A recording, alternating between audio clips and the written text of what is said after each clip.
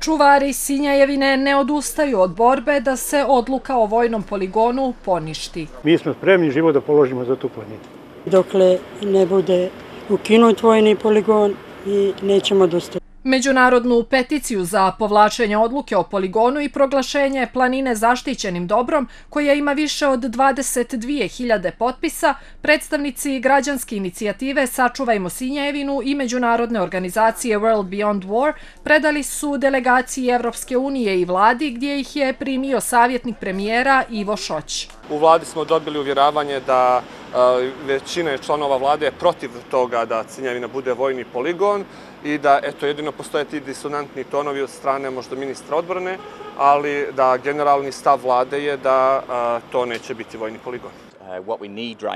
Ono što nam je sada potrebno jeste da pokažemo moć ljudi, ne vlade, ne NATO-a, ne Evropske unije, već ljudi.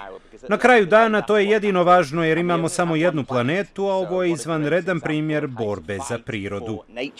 Šoć je, kako je saopšteno iz vlade, ponovio da ova inicijativa ima podršku premijera Dritana Abazovića. Iz Sačuvajmo Sinjajevinu zahvalni su svima na podršci, ali podsjećaju da se ključni resor po ovom pitanju još nije oglasio.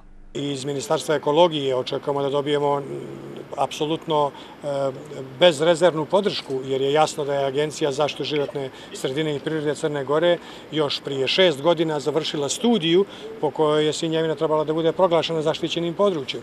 Dakle, taj projekat bi trebao da se realizuje do kraja i da se Sinjevina prepozna kao park prirode. Želimo da nam se pridruže i da jasno kažu svoje mišljenje. Vlada DPS-a 2019. godine proglasila je Sinjevinu vojnim poligonom predviđenim za vježbe vojske, što je naišlo na oštar otpor stočara i ekoloških aktivista koji su na planini proveli 51 dan protestujući protiv te odluke. Nakon promjene vlasti Sinjevina nije korišćena za vojne vježbe, ali nove vlade formalno nisu ni poništila odluku o poligonu.